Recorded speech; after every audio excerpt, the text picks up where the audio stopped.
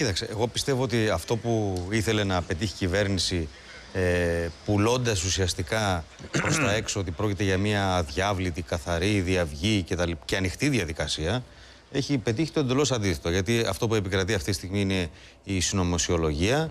Όλοι μιλάνε, μιλάνε για συνθήκες μακρονήσου εκεί στη Γενική Γραμματεία ε, Ενημέρωσης. Εγώ περιμένω με Ίσως είναι λίγο υπερβολικό αυτό ή έως και πολύ υπερβολικό. Σωστά, γιατί στη Μακρόνησο έχανε και θάλασσα, ναι. Ε,